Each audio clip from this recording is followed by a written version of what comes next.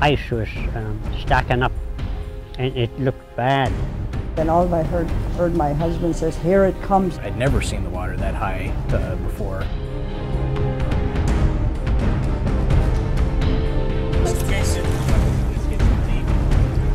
The water's coming up and um, my house is needing help. And I realized like that we couldn't get out of the house except by a boat. And my daughter kept asking me, are, are we okay? Are we okay?